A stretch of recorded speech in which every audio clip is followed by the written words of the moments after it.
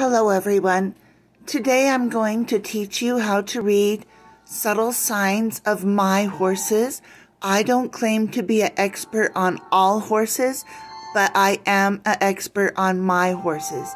Now I went outside yesterday morning and approached Jara, Jora.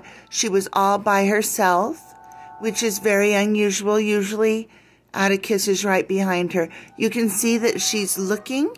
She's She's a, looks a little bit nervous because she's waiting for her son. She knows it's breakfast time and her son isn't there yet. So as you can see, she's not at her trough. She's waiting in the field so she doesn't lose sight of him. But here he comes. He realizes I'm late, or he was late, so here he comes. Now that he's there and going to the trough, Jora will follow. This time they come in together with Lincoln herding. And so they're up to a little jog, and it's rare that Jora ever gets in front of Atticus. Atticus is usually always in the lead. Here it is a windy day. They want to come up for their meal, but that gate is blowing in the wind. So the horses are timid and they don't want to come up, but they will eventually. They came through. Now here Atticus is approaching slowly because he knows his mother is behind him. So he is going to stop to greet me. There he goes. He's greeting me.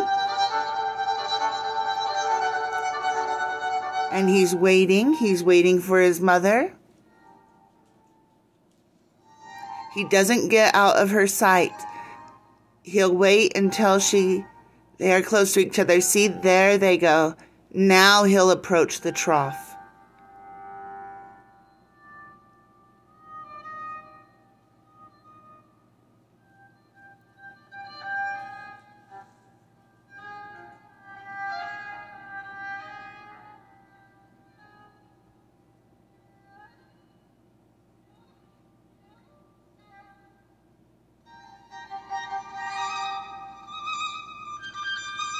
There's Jora greeting me.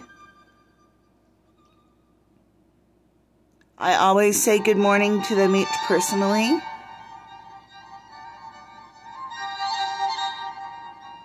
And here is a fun shot after their meal. Atticus throws his buckets around. This is just a beautiful shot of Atticus hiding under the tree with the fall colors.